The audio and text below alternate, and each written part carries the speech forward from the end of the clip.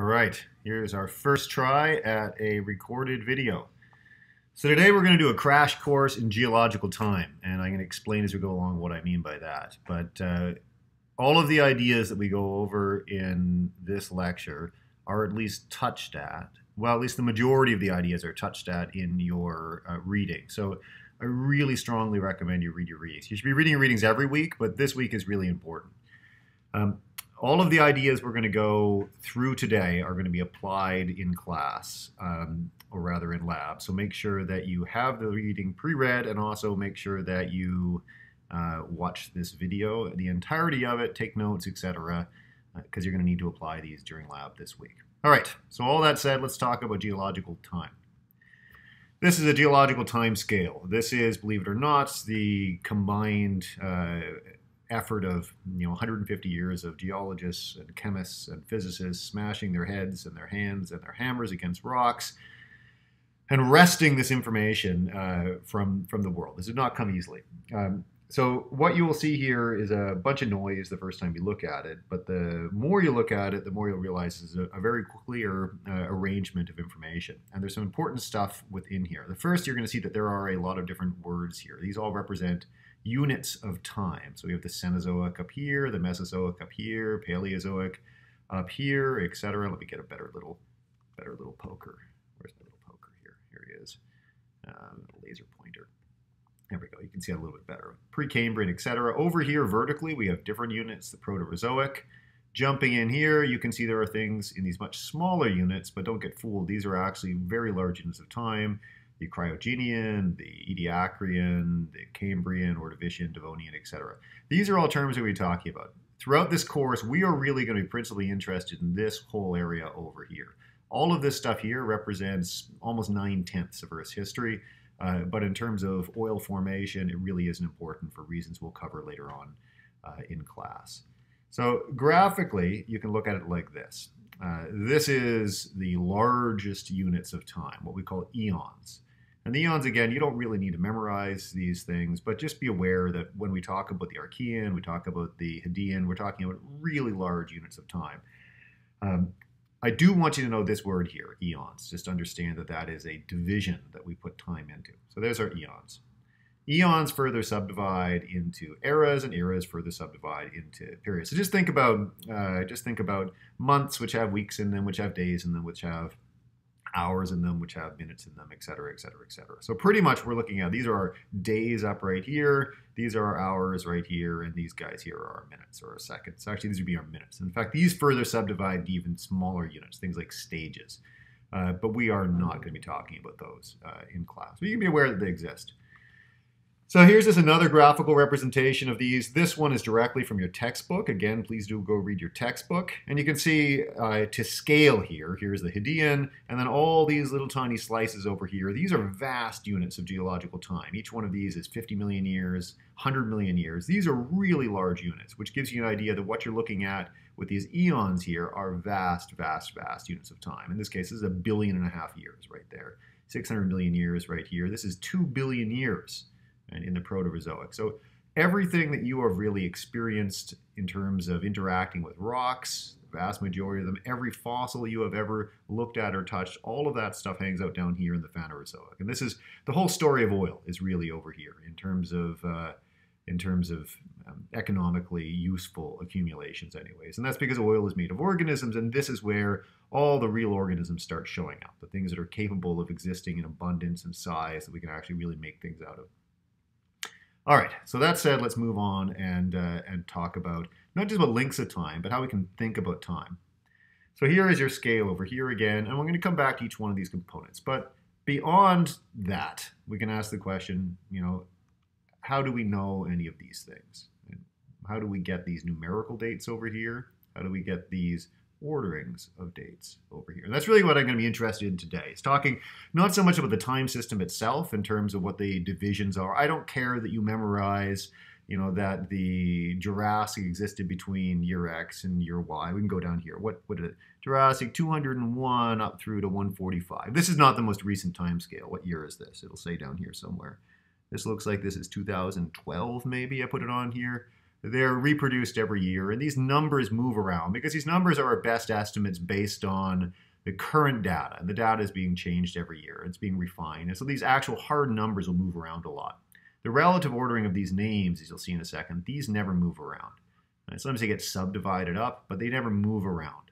And that is an important distinction, this relative versus these actual numbers over here. This is going to be really what the rest of the talk is going to be about, is about these kind of orderings and these kind of orderings. But I'm not really concerned that you know the names within here are the numbers. In fact, I'm not concerned at all. I really just want you to understand how the system exists, how the system functions, and more importantly, where the data for this entire time system came from. All right. So that brings us to this question. How do we know any of this stuff that I've been telling you right now? How do you know any of it? Well, because you watched the video. Now, how do we how do we know the information to put in the video? Well, you might not be surprised since it's a geology class that we know it from rocks. So if we look right here, there actually already is temporal information in this slide right now. I can tell things from it. You might be able to infer things just by looking at it. By the end of this lecture, you'll be able to look here and see a lot of time information. Uh, and it's in fact that time information, just superficial appraisal of geologic structures, geologic layers of rocks that we get really the most important first you know, bit of information about time. But there's a lot more important analytical things that need to be done to pull out those real age dates. So that brings us to this, this clarifying point right here. That when we talk about time, we can mean two different things we can talk about a relative ordering of things. So for example, I can say that my first class of the day happens before the second class. That's obvious. But that doesn't tell you what time. You know, you might have calculus in the morning and you have uh, you have chemistry in the afternoon. Or you could just say, hey, what do you have first? You know, what do you have? Well, I've got calculus and then after that I've got chemistry. That didn't tell me where you're going to be. It tells me, you know, what order you were taking things, but that doesn't contain a lot of crucial information in it, which is, you know, what day are you taking it at? What time does each start? How long is each one? So this this discussing things simply as a sequence of events, right? The order of occurrence, that something occurs before some other thing, right? In this case, we're looking at a timeline, right? This occurred in the morning, this occurred in the afternoon, but this guy here occurs on a Friday and this one occurs on a Monday. I mean, so you can read a schedule in terms of a relative sequence, both left to right and up and down. I mean, that's just how a schedule works. You guys can read a schedule. The other important thing, and the more important thing really, is this part over here, which is the actual time. I mean, Monday, Tuesday, Wednesday, in terms of days, or 10, 10.30, 11, 11.30, etc. So that actual hours or days in your schedule, that's the portion of time that we call absolute time. Over here, this relative ordering events, that is just relative.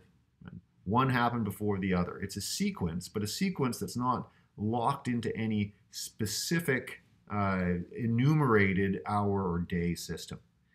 So time geologically can be thought of in exactly the same way. When we go back and we look at a sequence like this, we can say that the Cretaceous happens after the Jurassic, right, which happens after the Triassic, and all of these things happen before the Paleogene. That's how this particular charts to be read. It goes up like this, and then it goes cruising along. Wait, no, it goes this direction, and then it does this. It's just going from the bottom to the top, and all these actually, now I look at it. So that's one way we can do it. The other way is we can look at these actual numbers right over here.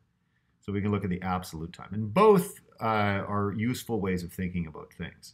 This first thing, this ordering, that's going to be what the first part of this lecture is going to be talking about. How do we figure out the relative order of things? And then later on, we're going to apply some numerical dates. And in fact, that's how the history of geology worked. We got the ordering of things first because the technology to do that is very simple. Again, you can actually get that basic information simply by looking at this picture here. Later on, to actually get those absolute dates required some fairly complicated chemistry, some fairly complicated analytical equipment. And we didn't even start cracking that problem until the 1900s and straight through to the 20th century. And we're still working on it. My colleague Deanne, for example, further refines the numerical date ages for uh, igneous events in Nova Scotia every single year. That's one of her big research projects right now is, uh, is refining our understanding of when what we already knew was a relative sequence of events, the intrusion of large plutons or blobs of magma into the crust in Cape Breton. We knew relatively when did they happen, but the actual exact date, you know, X number of millions of years ago, that problem is still being worked out. She works on it all the time, and sometimes needs summer students to chat with her. All right, let's go forwards. So now we got to a uh, bishop over here with his fancy big cross and his fancy hat over here looking very serious. This is a serious man. And we got a big shark over here. So what does a guy and a shark have to do with time? This is the basis really of geological time, is the uh, a few set of really powerful observations and deductions that were made by this guy here. So this is a guy who goes by the Latinized name Steno. His actual name is Niels Stensen. Uh, no one calls him that. Everyone just calls him Steno. That was his choice of a name later on, fancy Latinized name. Uh, he was a Danish scientist uh, in the very early days of science. We're talking about the 1600s here. Science doesn't really exist. They're philosophers, you know, natural philosophers who are applying the principles of philosophy to the natural world. And so he hung out with a, a group of intellectuals um, in Italy. So one year, this ginormous shark washes up. I think it actually got caught, uh, but they pulled it up onto shore and uh, the shore of Italy, and it's a shark like no one's ever seen. It's a ginormous shark. So it gets sent up to local uh, royalty um, so that the court can all come and gawk at this amazing monster. And Niles Stensen, who is a anatomist, uh, he gets put in charge of doing the public dissection. And so it's like a, a movie. Right? Everyone's hanging out, they're watching, oohing and awing at this ginormous rotten carcass of a shark. And so he starts looking at the teeth of this thing, and he makes an interesting observation, which is the teeth of this look just like these teeth-like things that you can find in rocks all around Italy, in particular Malta, right? They're all along the Mediterranean. And we know, of course, today that that's because they are literal shark's teeth. We're talking about fossils here that are trapped in the rocks.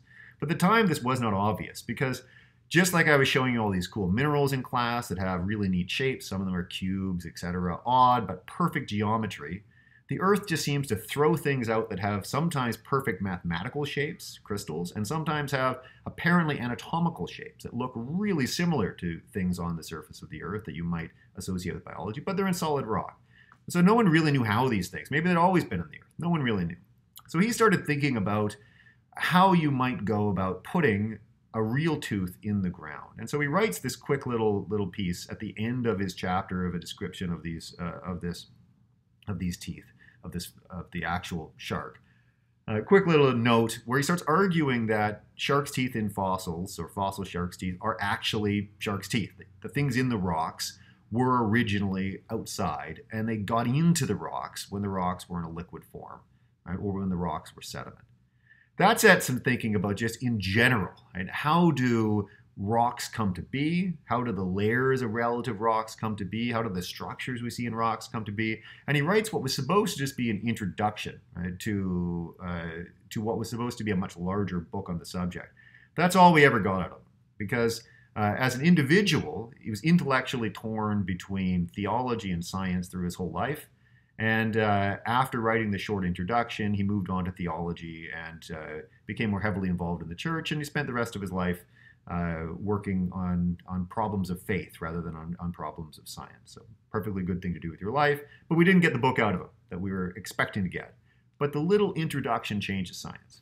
So, there are a simple set of principles that come out of Steno that are often referred to as the principles of stratigraphy, sometimes just as Steno's principles. Not every single one of these. Uh, there's a couple that I, at least one I've added to the end that is not directly traceable to Steno, but intellectually, uh, even these latter ones are. But all the first ones are absolutely straight out of his book. And he used them to interpret the geology of southern Italy. You can use them to interpret the geology anywhere. They're super straightforward, and I'm going to explain them to you in the form of baked goods, principally pancakes. Ready for it? All right. Here comes some pancake geology. So here are the things we're going to be talking about superposition, original horizontality, lateral continuity, cross cutting, inclusion. So you remember those terms. We're going to come back to them. They're fancy words that really mean very simple but powerful ideas superposition, original horizontality, lateral continuity, cross cutting, and inclusion. And by the way, this is a picture from Steno's books. There's the there's the shark's teeth, the, the fossil ones. Here's the actual shark. This is what, by the way, a shark that's been rotting in the Mediterranean sun for a few days looks like. Not a happy thing. Okay, here are your pancakes. So someone offers you this delicious stack of pancakes. Which one of these pancakes do you want to eat? The obvious, well, this is, looks like a personal serving, but imagine that we are, we are dividing these up amongst everybody. The obvious answer is you want to eat this pancake right here, this one on top. Well, apart from the fact that that pancake comes with blueberries and comes with butter, ignore those. Why do you want this pancake? Why do you want this? Why does everybody want that pancake? You know you want that pancake because that is the freshest of the pancakes. This pancake right here is a brand new pancake. On the other hand, this pancake is a sad old pancake. That is a cold pancake at the bottom of the stack. So the further you go up this stack right here, the younger the pancakes are going to get until this one here is the last pancake to form. It is the youngest pancake. Now, when was that pancake made? I don't know. Was it five minutes ago? Was it an hour ago? Was it 30 seconds ago? I don't know. But I do know that this pancake was made after this pancake was made because otherwise it would be underneath. Because this is a stack which was laid down sequentially. First, second, third, fourth, fifth, sixth pancake. That's the first idea.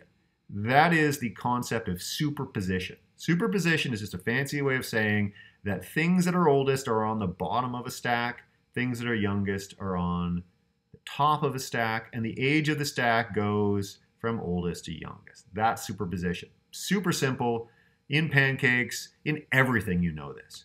Going back to our layers of rocks over here, I said there was time information. What's the time information? Down here we have the, these down here are the oldest rocks, and these ones up here are the youngest rocks. Pardon the horrible writing. Those are the youngest rocks, and the time goes like that. So there you go. Straightforward. That's the first idea. Next up, we have original horizontality. Well, what does that mean? Look at how these pancakes are laid down.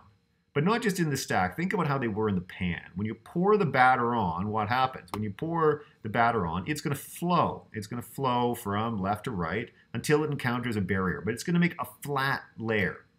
And so if you find pancakes like these ones here, which are at some angle, you know they had to be removed and turned up to that angle. They were originally flat.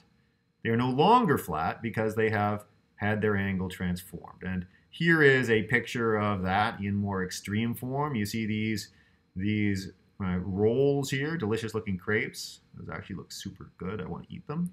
Uh, you know that these things were originally made flat and then someone came and rolled them in afterwards.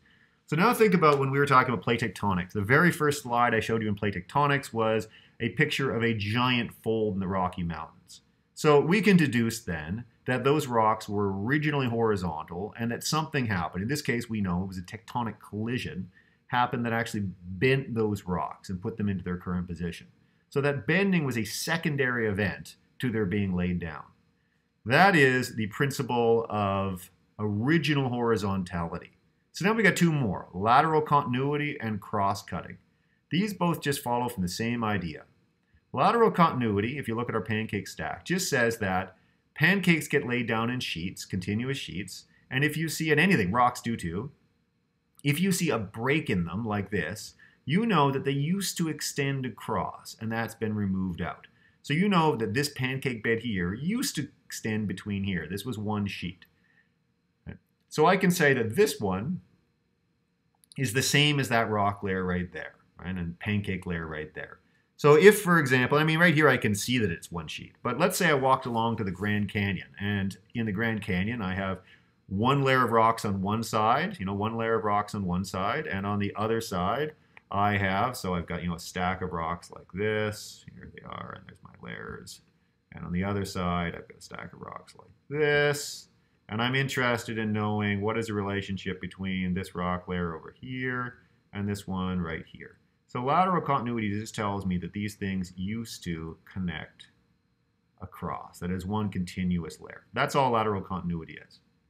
Cross-cutting relationships tells you that if anything cuts through something else, like the knife cut through this stack of pancakes, by definition, something must have existed for it to cut through.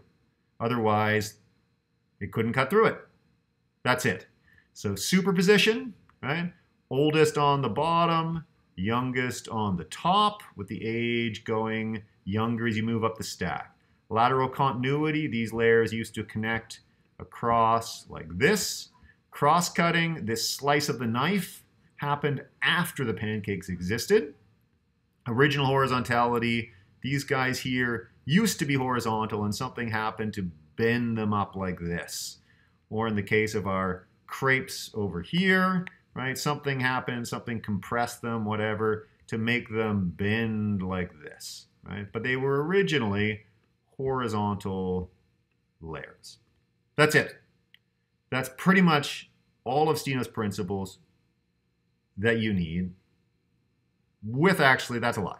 There's a couple of very minor additions. One that's actually Steno's, and another one we've added on later on. But on this point, I got to move away from. Actually, no. You know, I can do these ones with uh, with pancakes as well. If you want to think about, if you're not a pancake person in this sense, and you want to think about muffins, chocolate chip cookies, you can do that too. Doesn't matter. You choose your baked good. Okay. So you notice that this one has blueberries on it. Is this a blueberry pancake? This is not a blueberry pancake. To be a blueberry pancake, the blueberries need to be, maybe I should make these blueberries a different color. Can I do that? I think I can make these blueberries a different color. Let's make them be blue. All right. Now I'll make some blueberries in there. Some blueberries. So let's say I wanted to take this blueberry and I wanted to put it inside the pancake. Can I do that? Not without destroying the pancake. So if I want the blueberry pancake, the blueberry inside the pancake, that had to have happened when the pancake was still a batter. That's the principle of inclusion. It says if you have a solid object included inside of another solid object, and for Steno, this was, you know, this was a shark's tooth. Shark's tooth looks something like that.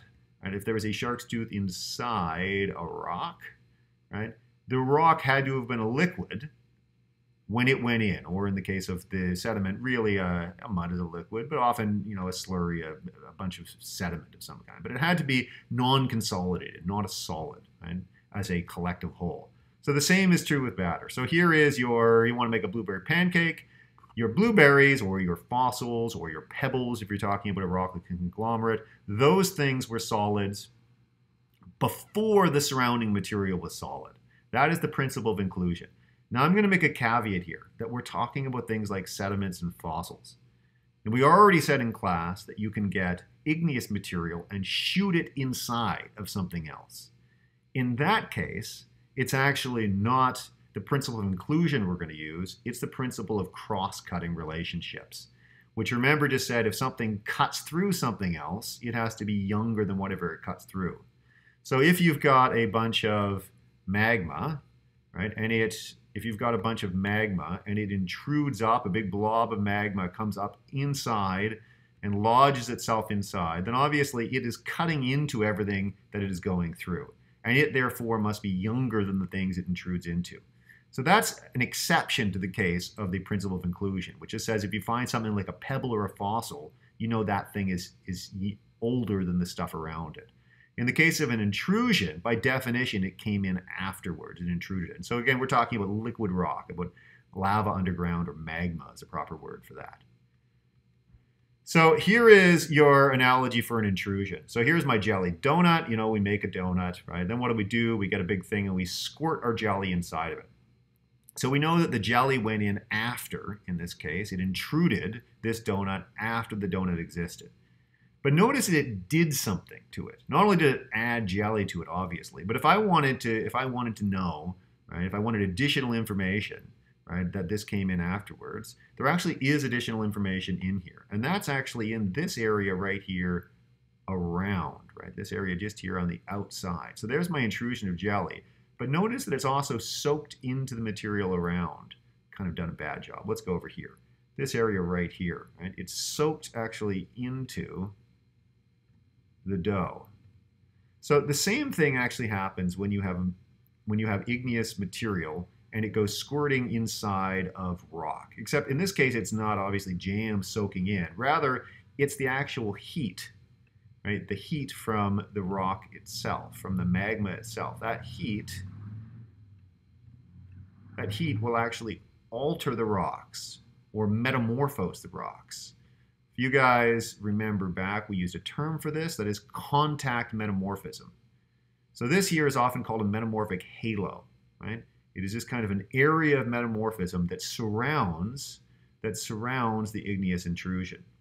At the same time, though, remember that when you have two things, when you've got, say, your volcano, here's my volcano, and material comes out of the volcano on the surface, it is going to cool very slowly, or very rapidly, sorry. On the other hand, the body of magma underground, which is coming up towards the surface, remember it is going to cool slowly. It is going to cool slowly. And as a result, the crystals are going to be larger. Right, so they're going to be larger. They're going to be these big visible crystals. You can see these are supposed to be crystals. This is really hard with a mouse pad. So there's my crystals. Whereas the ones on the surface are just going to be little dots, right? They're going to be much smaller. So the same thing's true here. If this is an intrusion of magma coming inside, where it is touching the cold rock, where it is directly in contact, right along the edge. Now on the magma side, not on the original, on the rock that's intruded side, on the magma side, right around the edge where it's in contact, it's going to cool faster than it does on the inside, which means this portion right here is actually going to have smaller crystals than the inside does. And so that's another one. So this is what's called a chill margin. It's literally the margin of the intrusion, right? And it's been chilled, and so it's smaller crystals. So either by looking at this metamorphic halo, this is on the rock that's been intruded, or on the intrusion itself, on that gradation of sizes of crystals from small on the outside to larger inside, we can figure out which one of these things happen after or first. Now, this jelly donut is not a question, obviously, but imagine that you are walking along and you come across, here you are, you're a little guy here, there you are, there you are, and you only have one arm. Let's give you another arm. I guess that's a hat. It wasn't intentionally a hat, now it's a hat. You're walking along and you find this. And this here is all granite. And this right next to it is some kind of other rock. Right? Now it's possible that this granite came first, millions of years earlier, and then it eroded away, and this was an open space, and then some new rocks got deposited. You don't know the relationship between these if you just walk along in the woods and you happen to find a bunch of granite sitting next to it. Or it could be this rock existed and the granite came intruding up into it. You don't know what the relationship is, what we've called the contact. Right? This is the contact where they are literally touching each other. We don't know what that contact is about, what story it's telling us. So what we would look at then is we would look at the contact itself. We would ask on this side here, right, do you see evidence of metamorphism from the heat coming out of this side? And on this side, do you see evidence of a chill margin? If you do not, then that is telling you that this already existed and this stuff got deposited afterwards, right? If you do, then you know that this material intruded in to this material and baked it and was cooled in contact with it. So this guy here is the principle of metamorphic halos, it's sometimes called. Sometimes it's metamorphic margins, different names for this. And this is the flip side of that are chill margins. Remember on the edge where the crystals are smaller. So that's all you need. Those are the principles of stratigraphy, these basic principles. You can apply them. Let's say we look at this right here. This is Five Islands Provincial Park. If you have not been here, you should go here. It's amazing. So you look at this and you ask yourself, okay, what in this stack, which is the youngest rock in the stack? Well, we know that they are getting younger as they go up. I'm going to get rid of my, I'm going to want my red pen back. Where's my red pen? Pen color. Let's get my red pen back, right? So this one up here is the youngest. And these guys down here are the oldest.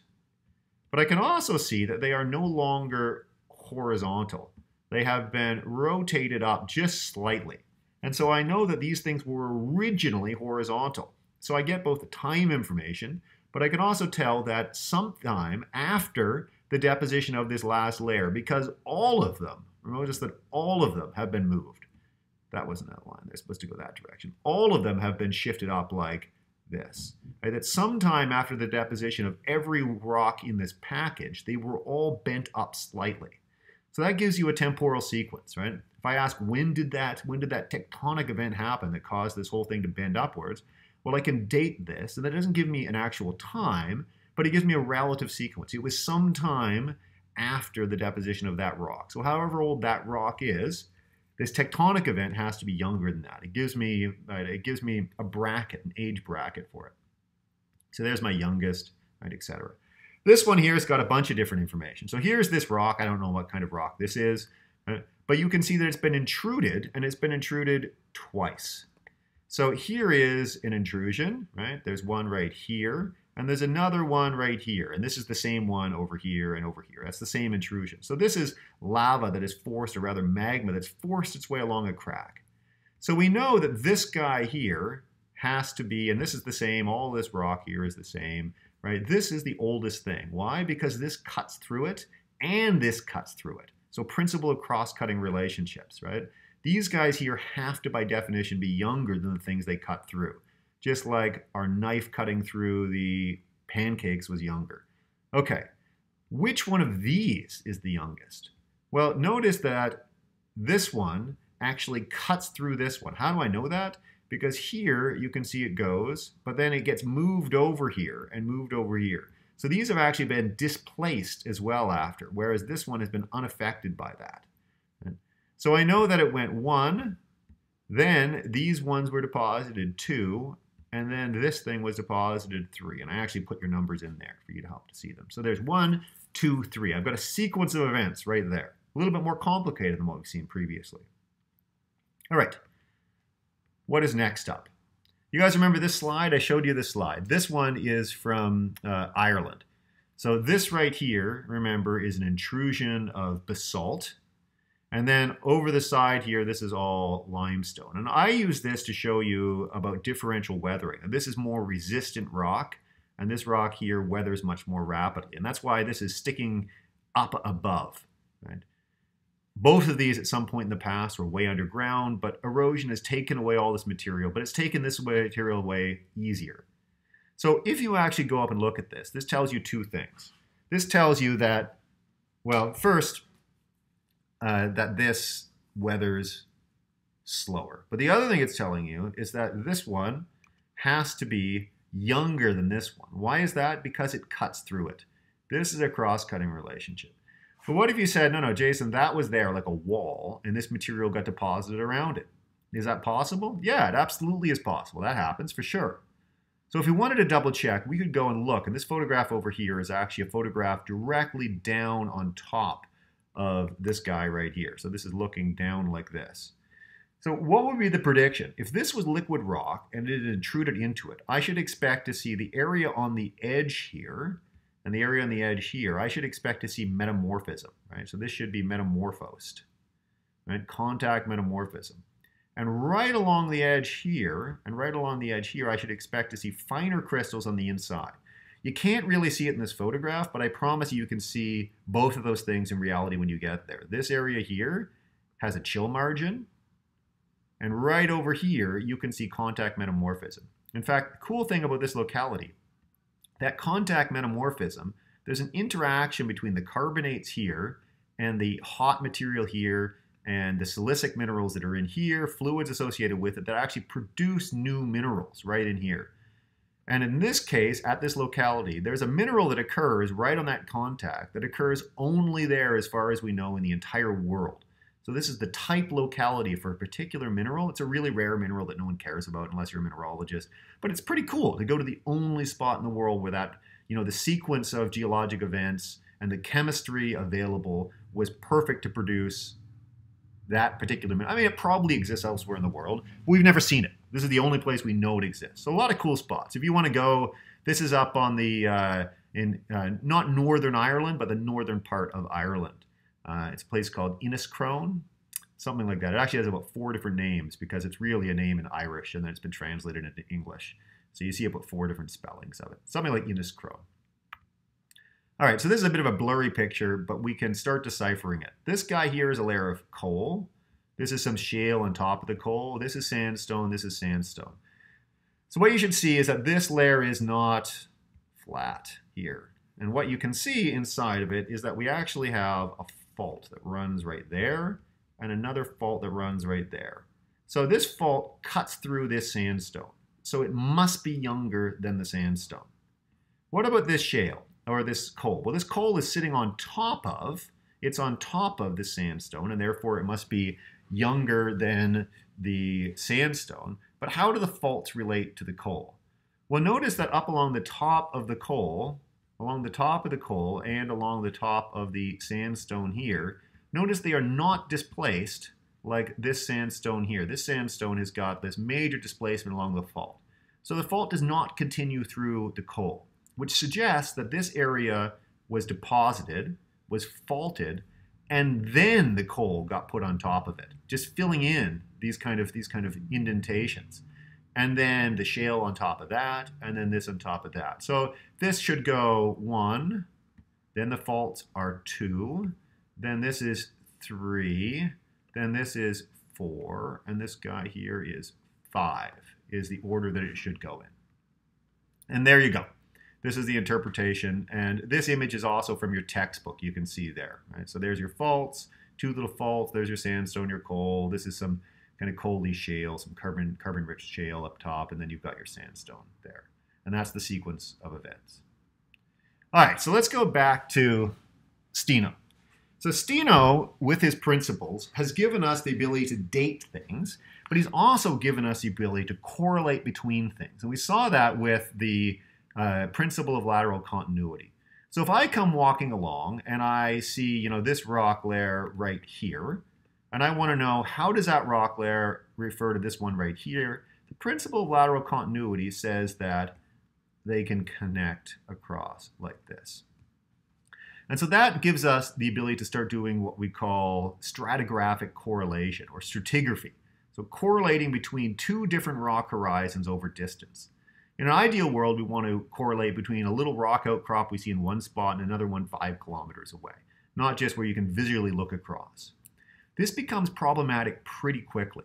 So lithology just refers to the kind of rock. So this is a sandstone, this is a limestone, you could do this. The problem, and you can see it already in this picture, is that the types of rocks repeat themselves over time, right?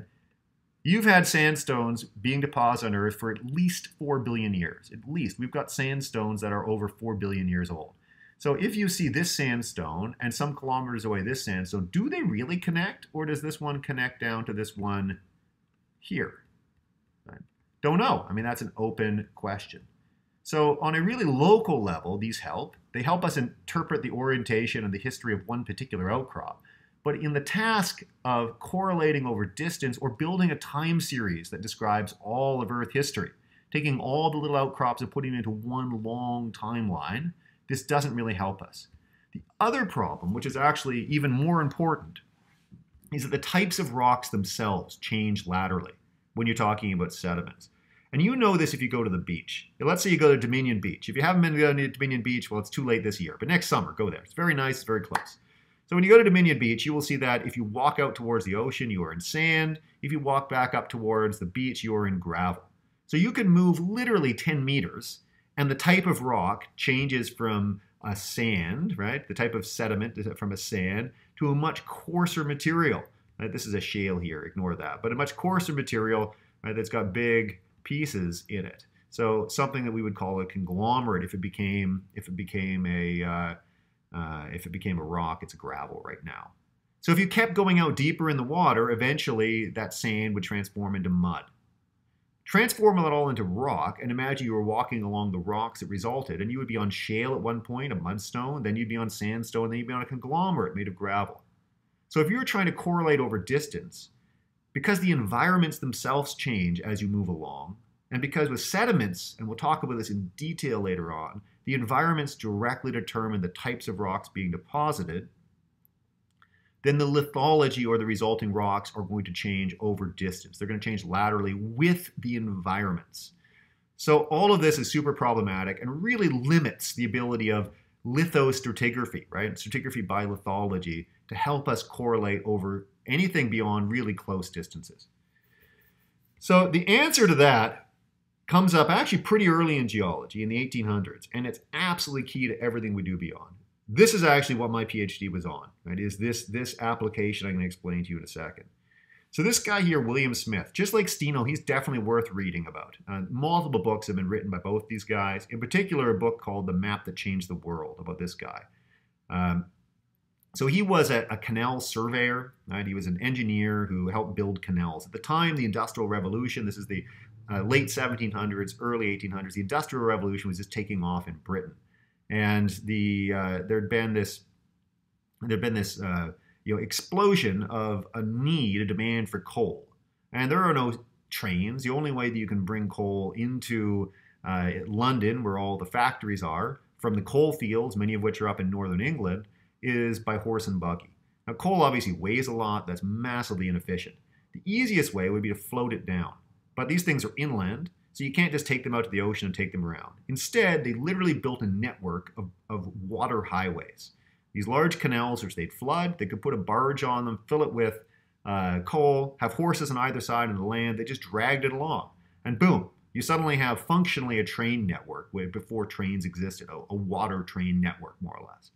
So he's out there supervising the digging of these canals. And as he's doing it, he's getting down in the rocks and seeing the rocks exposed below the dirt that covers them up in most parts of England, all over England. And he starts to notice something. What he notices is that the fossils that occur within them occur with a particular and predictable order.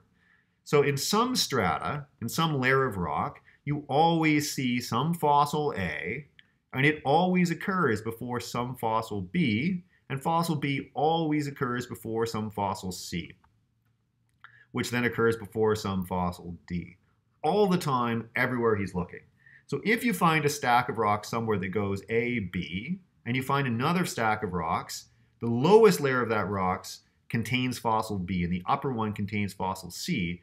You could, in sense, take that first stack of rocks, take that second stack of rocks, and combine them together to make one single imaginary stack of rocks like this. The other thing is that if you see B, and that's the last one exposed on the surface, you can make a prediction that if you were to drill down, you should hit something of age A down here. It's going to contain that fossil. The other thing he noticed is that sometimes these fossils would move outside of lithology.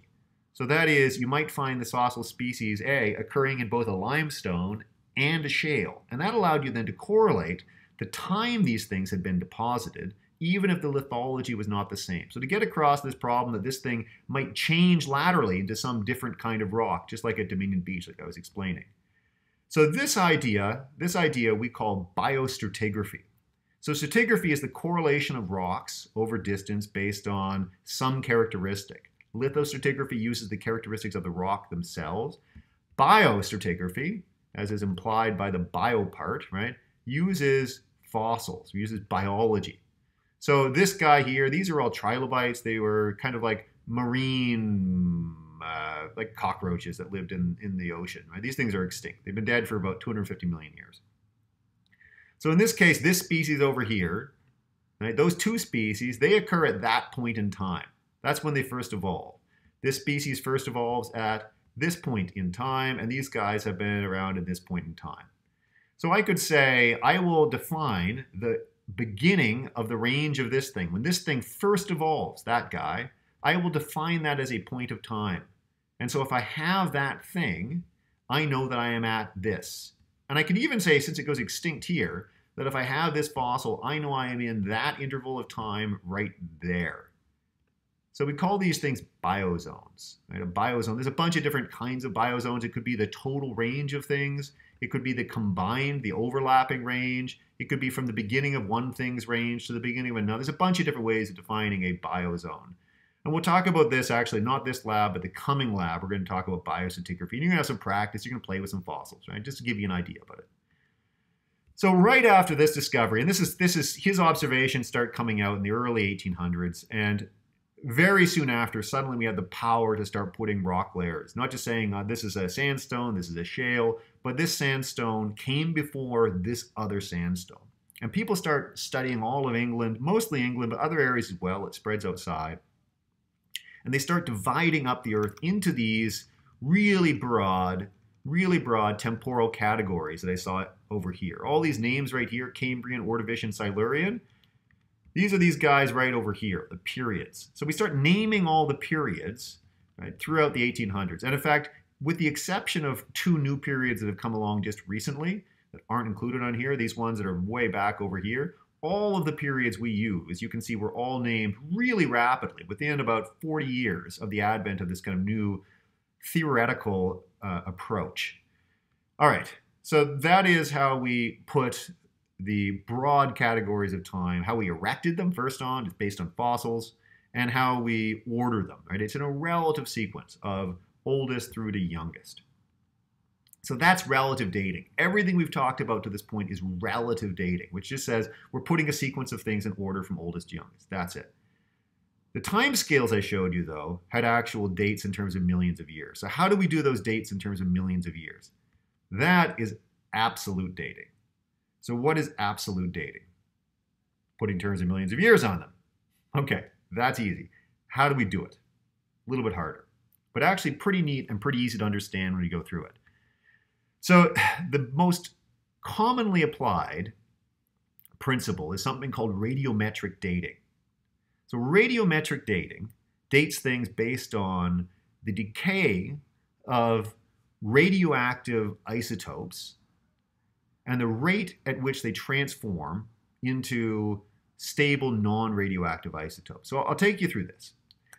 Pretty simple idea, a little bit complicated to think about at first, but, but pretty simple the more you think about it. So the first things, remember rocks are made of minerals. They're collections of minerals. This is a mineral called zircon, right? These teeny little guys. This is what Deanne, my colleague, she does all of her dating work on these little critters right here, right? On these little zircons. So these things naturally include in their in their crystalline structure, right, small amounts of radioactive material, right? Isotopes of uh, of uh, elements. And an isotope, remember, is just an element that has more neutrons. And so some of them are stable, some of them are unstable. So if they're unstable, they are radioactive, which means they will break down, they will spontaneously decompose and transform into something else, right? usually in the process. So these will have small amounts, just naturally occurring, of radioactive material within them, usually. Once they crystallize, once these things form from a magma, they then become functionally closed systems so that any of the new radiogenic material, radiogenic material, that is material which is produced as a result of decay, any radiogenic material is going to be trapped within them and it can't get out, so it's stuck inside here. So I can then look at how much of that material has been produced inside. And if I know the rate at which that material is produced, I can get an age, right? A date for those things. It's going to tell me when did these things form first as crystals. So I'll take you through that again from just a couple different angles, and then I'll talk about some problems with this in a second. I mean, all things that make sense theoretically are usually a lot more complicated in terms of applications, right? So here's an example. This is from uh, Green Cove, which you guys, again, is around Ingonish. You should definitely go here. And you've seen these. This was number 36 in your sample kit, these little pink guys here. They're the things that gives the pink color to rhyolite, the pink color to many granites. This is a granite you're looking at here. So this is potassium feldspar. This is K right there for potassium. This is potassium feldspar. And so potassium feldspar, as you might guess, has potassium in it. Some of the potassium Right? A small amount of that potassium is potassium 40. And potassium 40 is an unstable form of potassium, which will transform over time to argon 40. To argon 40. And it's going to do that at some given rate. Now, argon is a gas, and it's going to be trapped within that lattice. This is going to get, you're already going to see a problem here potentially, trapped. Well, what if some gets out, you might say to Jason? Well, that's an issue. We'll talk about in a second. But assuming none gets out, I can look at the amount of this stuff relative to the amount of stuff it transforms into. And I assume, since this was a gas, that any that was originally present before this became a crystal would have just gone away. And it's not going to be there. Whereas anything that was produced after it became a crystal is going to be trapped within it. And so I can just measure what is the relative abundance of this to this. And if I know the rate at which that transformation takes place, I know the rate, that's a T. this is the worst. Look at the rat. I know the rate at which a transformation takes place, then I get a time from it. So here is uh, your zircon again. In the zircons, we are not using uh, we are not using potassium and argon. In zircons, we are principally going to be using uh, uranium, and it's transforming to a form of lead. So here's some terminology for you. The original isotope, that radioactive thing, we're going to call that the parent. And the radiogenic isotope, the thing it transforms into, that is the daughter. And so we're going to be looking at the ratio of parent to daughter right there. All right, so let's look at this graphically. Uh, graphically, actually, in a second. This is showing some of the instrumentation. Um, so this actually, this device here is a device that shoots beams of ions at uh, shoots beams called it SHRIMP shoots beams of ions at um, at minerals and actually ablates the mineral blows off some of the material. And then we run that material through a mass spec and the mass spec will figure out the relative weights of the different things inside and that will allow us to figure out the relative abundance of different materials. That's how we figure out how we actually do the work. It's done in a laboratory somewhere unlike the tests that we can do in lab where we're scratching things putting acid on them this requires uh, a bunch of fairly sophisticated equipment. and some of these analyses are quite expensive. Some of them are pretty cheap, kind of like a grand per sample, but you want more than one sample. Some of them, depending on how precise you want the date to be and the particular things you're dating, can get really pricey. All right, so what about rates? So when we talk about rates, we're going to talk about rates in terms of half-lives. What is a half-life? A half-life is the amount of time it takes, right, for half of the original or parent material to transform into the daughter material. In this case, this is showing uranium and lead. So after some amount of time, x, that is one half-life, half of the material, half of this material has transformed into lead. After another half-life, right, after one more half-life, then you get half of the remaining uranium is going to transform after. So after one half-life, the ratio is going to be 1 to 1. Right? Then we are going to take half of the remaining stuff and make that be there again. So after one more half-life, the ratio is going to be 1 to 3 right? And so on and so on and so on as you go along. If you click this link, it's going to take you, actually, I guess it's video, you can't click that link, but if you Google uh, Evolution 101, radiometric dating, something like that, it's where I got this from. It's from a really neat interpretive thing. It's mostly about evolutionary theory, about biology, but because we use these to give dates to biological systems as well, to evolution, to fossil record, uh, then uh, then that uh, information is included in that. Introduction. So you can check that out. So we're going to have that ratio changing along. And you can look at it. Here it is graphically displayed. So here is uranium lead as a system again. This thing has a half-life of 4.5 billion years. So after 4.5 billion years, 4.5 billion years, that's the age of the Earth, right? Roughly the age of the Earth. So after one Earth age, right up where we are today, you're going to have half of it left. So if I get something and I look at the ratio and half of it is uranium-238 and half of it is lead-206, which is what it becomes, I know that for that to happen, four and a half billion years, four and a half giga four and a half billion years had to go. If I go and the ratio is three to one, then I know nine billion years had to go, and so on and so on and so on, right? Each one of these represents a, another half-life, and at each point, half of my original material. Now here's a problem you're going to see. At some point, I'm going to have none of the thing left. And at that point, the clock stops working. Now, 22 billion years is well more than the entire age of the universe. The age of the universe is something like 13 billion years. Right? So somewhere around here is the age of the universe itself. But you can see that if you had something that had a shorter half-life, you can run into that problem pretty quick, where you have none of the material left, or so little left that you're not within the range that people can actually detect it. So here's the caveats. The first one is this whole thing assumes you have a closed system.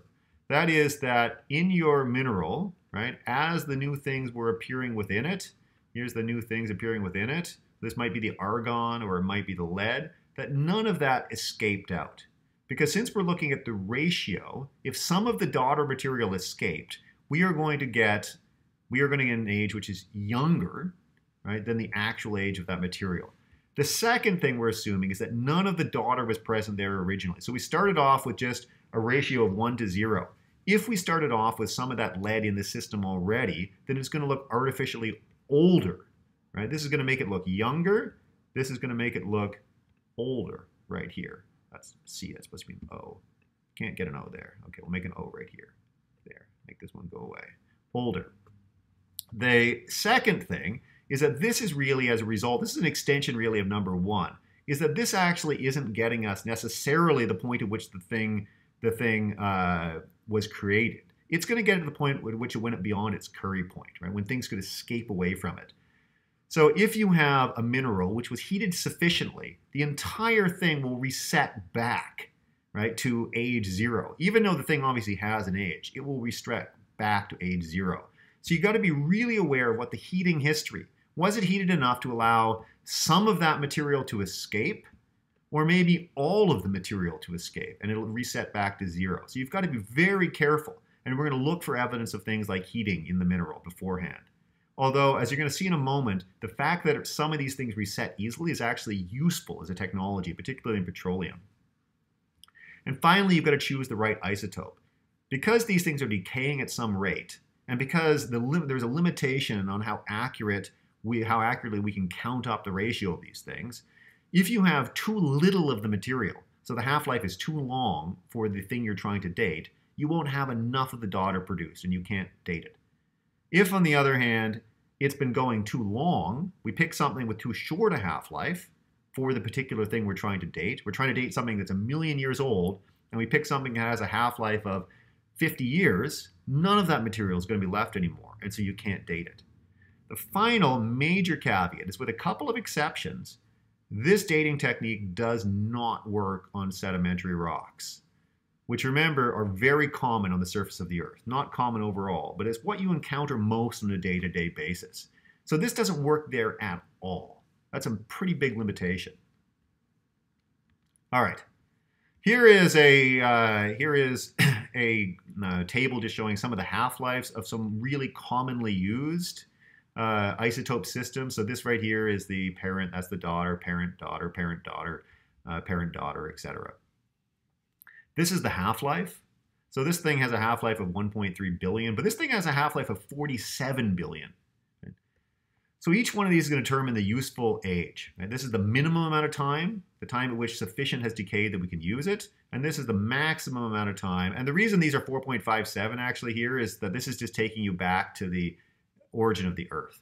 But if you were trying to date something which was older than our solar system itself, then you could use rubidium strontium. Let's say that a, some kind of meteorite came in from a totally different solar system. It came in from a different galaxy or something. You want to date that. Or in the future, like Star Trek, we're flying around. We want to date some eruption on some planet, and the planet might be 15 billion years old. Right? Then you could you could date that using using this. But this is a it means that any of these are have a maximum useful range which is sufficient to date any earth object. On the other hand something like carbon nitrogen over here the radiocarbon this thing has a maximum effective, effective usefulness of 60,000 years. The other the other caveat for radiocarbon dating is that it is going to only be useful for organic materials. Right? this does not work if you are trying to date uh, any kind of rocks themselves. So we use these to date organic materials, not fossils, but actual organic material, bits of wood and stuff, in very young sediment. So this is for archaeology, really. It's also for uh, kind of glacial systems. You want to understand that. But this is a maximum working age of only 60,000 years. So you got to pick the right pair. Um, if you picked, say, rubidium strontium, um, or even if you picked uranium lead, and you try to date, say, Mount St. Helens, you're going to get a completely erroneous date from it because it has a minimum useful age of a million years. And Mount St. Helens erupted in 1985, something like that, 1980s. So you can't use that. So you got to be really careful. You have to have some already hypothesis of how old you think something is. And then you're going to use this to try to narrow in on that. And you're not just going to use this, you're going to use a number of other things to double check it. All right. So here is the geologic time scale. I told you this represents 150 years of a converging group of scientists, geologists, geophysicists, chemists, all of these guys working on this together. And the reason for that is because of the limitations of all of these dating. So for example, me as a biostratigrapher, I'm going to tell you the date potentially in terms of relative time, in terms of relative time of some rock. So I can tell you how old this rock is in the sense of it is younger or older uh, than, uh, or rather older or younger than some sequence of rocks, but I cannot tell you how old this thing is in million years. On the other hand, a geochronologist, someone who does radiometric dating, they can't tell you how old this thing is at all because it is a sedimentary rock. So you can't see anything at all here. All right, so because of that, we need to work together in teams. And we're going to be applying a lot of these things together into a converging understanding of Earth's history. So here's one way we can do that, a very simple way. So in this case, you've got a series of fossiliferous horizons. So these things cannot be dated using radiometric dating, but they can have a relative order between them. Each one of these represents a volcanic ash layer. And volcanic ash is, remember, an igneous rock. So think about the tuff we were looking at in lab. But the advantage of a volcanic ash layer is that it distributes over really broad areas. When a volcano erupts, that material is going way up, and it's going to blanket really large areas on either side. And so we can get these thin layers, and they can fall in the ocean, they can fall on land, they can fall everywhere. And so anywhere they fall, if you're lucky enough to get a little layer of ash, you can break date that. So if I want to know how old in absolute years is this clam, I know this clam is younger than that trilobite down there because it's on top of it. But I want to know how old is it in actual years. If I have an ash here, and this is 495, and I have an ash here which is 510 down below, I know this clam has to be older than 495, so it's at least 495, and it cannot be older than 510 because this one's 510. And I mean, I could make an assumption this is probably closer to 495 than 510 because it seems to be closer to this. That's actually a dangerous assumption to make because this all could have been eroded. There might have been 10 meters of material on top that was eroded and this got put in afterwards. We'll talk about unconformities in the lab later on. So that's a bit of an erroneous assumption, but you could make that if you wanted to. So if I keep dating this, let's say I keep dating this in 10 different places in the world, and I find that this clam is always a roughly 500 million years. Every time I get, every time I am lucky enough to find layers of ash above or below it that give it constraints on its age, I find it's always roughly 500 million years. If I do that, then I can start using that thing as a proxy even when I do not have ash. So I can say, based on the fact that I've consistently seen that this thing, where I have ash available, is always 500 million years, in the future, I can just start saying, that fossil itself represents 500 million years by inference from past experience. So we do this, and this is how we build these timescales together, right? It's these convergent lines of evidence using fossils and absolute estimates together. And there's a lot of different different tools that are used in here in addition that are quite complicated that we're not going to get into this class. You can come and talk to me afterwards if you want. But this is the idea: is this these convergent lines of evidence creating a you know an increasing resolution of our understanding. Right, here's just a couple of extra dating methods that we use. So one of them, surprisingly, are trees. So you know, or you probably know, that trees grow every single year and that they leave behind rings that represent one year. So each one of these rings represents one year. That's one year, right, from here to there. That's one year from here to here. This is one year from here to here, et cetera, et cetera, et cetera. So we can date these rings. But you can also see that the rings are not of equivalent thickness as you move through them. And the reason for that is a tree will grow more in a good year than a bad year. So let's say it's a year where it's a drought, right? There is uh, there's not enough water. It's going to grow really slowly. And a drought doesn't happen just in, you know, three uh, square meters. A drought happens on a region, which means all the trees in that region are going to have a really short year. Maybe that year they only grow this much. Right? They only grow this much here. On the other hand, if the conditions are really good, they might grow a ton that year. And not just this tree, all the trees on average will grow a ton. And so as a result, what we'd expect is we could build a we could build a diagram that showed units of lots of growth punctuated by units of short growth. These are maybe two drought years or three drought years. And then we had a really good year. In fact, we had two really good years. And then we had another drought year. And then we had another really good year. And so that sequence, right, of long, short, short, short, long, long, short, long, right? I can go and I can find another tree, and that tree is younger than this one. And that tree just has long, short, long. And I can connect these together and say, these guys, that point in time, these trees were existing at the same time. And so I can create a database, right, that creates, that covers all the trees through time in one particular region. And then I can just get my tree, this, this, you know, I take a sample of this guy right here, and just compare that over to this giant database I have made and say, oh, this one then was growing at this point in this giant sequence of events I've made. So we've actually done that going back quite a ways. In the Europe and in, uh, in the US, we have particular databases that go back 7, 14, you know, those sorts of thousands of years. And they are importantly regionally specific because we're talking about regional climate events, right? And they are also species specific. So they might be just pine trees, something like that. Now, where you might want to use this is in something like in glaciology sometimes, but in particular, like let's say in the West Coast, around Vancouver, you get tsunamis, massive tidal waves that come in as a result of seismic activity, earthquakes. So when a tsunami comes in, it will bring salt water inland, which inundates a forest and can kill the forest. So if I want to know when did that happen, I want to know exactly when did those trees die. And that's an aspect where I could use this to try to figure out. Because if they died 500 years ago, none of the other methodologies I have are really going to provide sufficient information. The other thing is this is organic material, so I can't actually use a lot of the same things I would use. I can't use stratigraphy, etc. All right, here's another one. This is actually, this is a, a colleague of mine named John Gosse. He was actually on my PhD supervisory committee. Super nice guy. If any of you guys end up taking your uh, engineering degree down to Dal or you end up in Halifax and you interact with this guy, really nice guy, really smart guy. So he's interested in surface process. He wanted to know when did this landscape like this, with all these curves and stuff, when did that happen? And in particular, this happened because a massive glacier used to cover all of this stuff during the Ice Age. Wants to know when did the glaciers arrive, when did they leave? So you're interested not in how old the rocks are, but rather when were the rocks on the surface? And this is another absolute method, and it uses a, exactly the same idea as radiometric dating, and, but in a slightly different way. So these things are constantly getting bombarded by energy from outer space in the form of particles flying at it, neutrons and other things. So these are go zipping in, and they are hitting and penetrating just the surface area of a rock.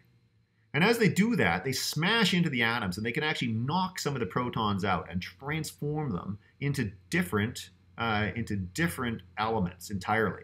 So these are radio, these are, these are what we call cosmogenic nuclides. So these are isotopes which were formed by radiation from space, literally smashing in particles from space, smashing elements and transforming them into new things.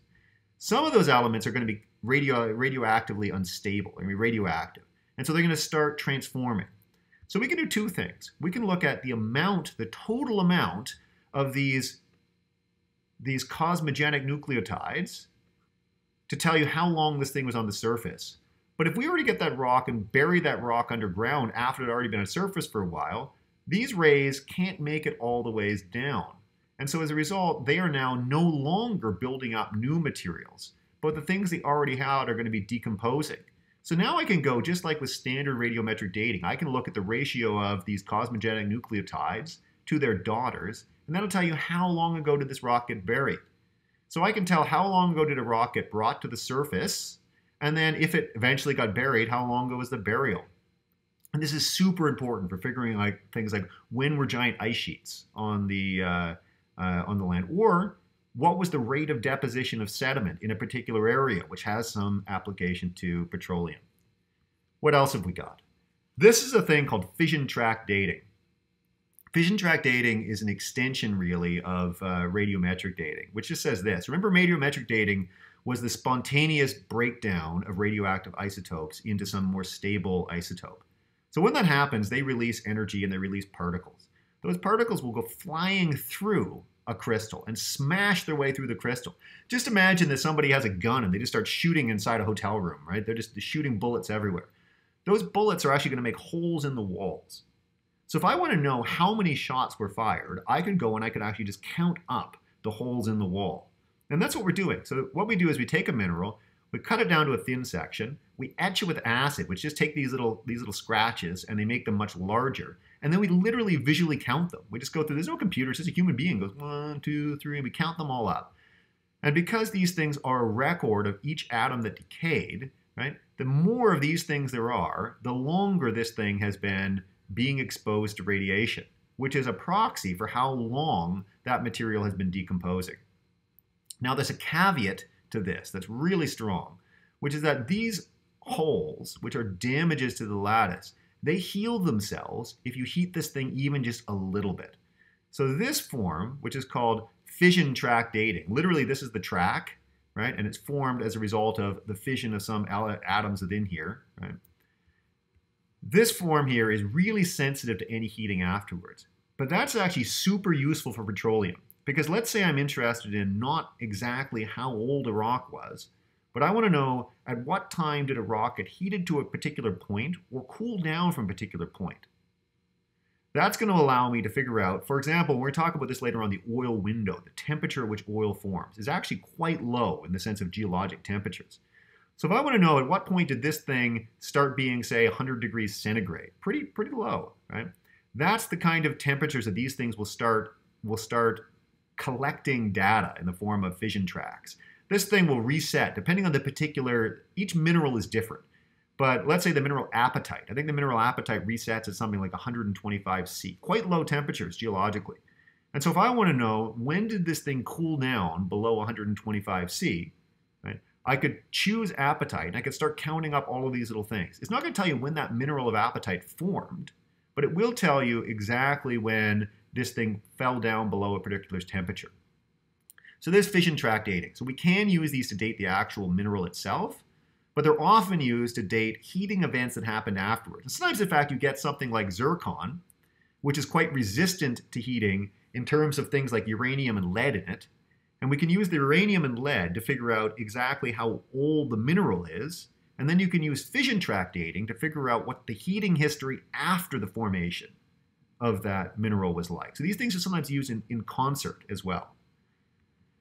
So here's one final guy to just end off with here. So remember we talked about as a line of evidence for plate tectonics, we talked about the fact that the Earth, as it spreads, right, Earth as it actually spreads open along spreading ridges, that new magma is formed, and that new magma is going to take on whatever the signature of the Earth's magnetic field at that point in time is.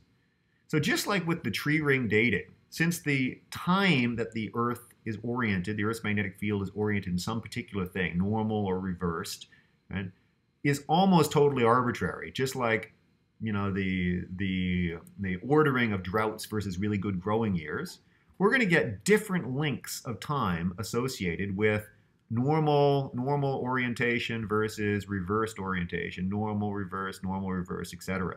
And we can do the same thing where I take this and I compare it to another spot and I match up this pattern of long, short, short, long, short, etc., which is going to be the same in all sections. We're only going to capture a little bit in some one section. I can put these things together and start making a giant system by comparing this little bit here to this little bit here somewhere else. I can start putting these together into one giant system. I can then just take a little sample from somewhere, go compare it to my giant system and go, oh, that matches up right here. If I've also dated some of these rocks, because this is only giving me relative dating, remember, this is only relative. But if I've also radiometrically dated some of these rocks, and I say this one's about 4.47, if I find a rock somewhere that has the same pattern of long, short, short, medium, medium, medium, short, it matches this pattern, I can go, that's about 4 million years old. So this is magnetostratigraphy, which is again a relative system. But I can provide, just like the fossils, I can provide absolute dates to it by also radiometrically dating either these rocks themselves or adjacent, right, adjacent uh, igneous rocks if these ones are sedimentary rocks. And this is a technique I can use both, not just here, but I can also use these in sedimentary rocks because sedimentary rocks often have little particles of magnetite, and those little particles of magnetite will also record the magnetic signature. So this is actually super useful for dating sedimentary rocks, especially in the absence of fossils. So here is the time scale again. Oh, this, by the way, that thing you see on the side, those are that barcode. This is the magnetic stuff combined with this is the radiometric stuff and this is the fossil stuff over here. All of this stuff is presented kind of together. And this whole thing is a result of convergence of all of these things here. Anyways, the big take home from this is that we're going to use all of these methods in concert to understand the global history of the Earth. So I want to know how old is the Earth? How have the systems changed over time? What has the rate of evolution been? When did continents break up? When did they come together? all of those things, that's big human history kind of stuff. Just understanding what is our role in the universe, what is the planet we lived in like, etc. But if I also want to know something, if I want to know very local problems, I want to know something like a particular layer of rock, when did it get heated to a particular temperature that, uh, that oil could be produced? Or when did it get heated to a certain temperature that would kill off bacteria that might break down any oils that accumulated in it? Or how do I connect through space one unit of sandstone to another unit of sandstone? How do I correlate? Are they the same age and therefore the same unit? Or are they very different ages and therefore different units, even though they look similar? Those very local, right, those very local and very specific questions are also answered using the same methodology we use to answer these big, broad questions about Earth history. All right, that's the end of your flash introduction to geologic time and stratigraphy. In lab this week, we are going to be going through and applying all of these methods. So make sure you watch or rewatch this video. If you don't understand anything, make sure you send me an email or make sure you just Google any of the terms that are in here. Read your textbook as well. It goes through all of this stuff. If you want additional readings, additional resources, or something you're struggling with or something you're really interested in, ask me and I will tell you. But otherwise, that is the end of the class for today. Remember that next week's class is also going to be online. It's going to be a video. I will provide the link to that video on Moodle. If for some reason you can't see the Moodle page, some of you still don't have access, email me directly and I will provide the link to you. But otherwise, uh, I will see you next week.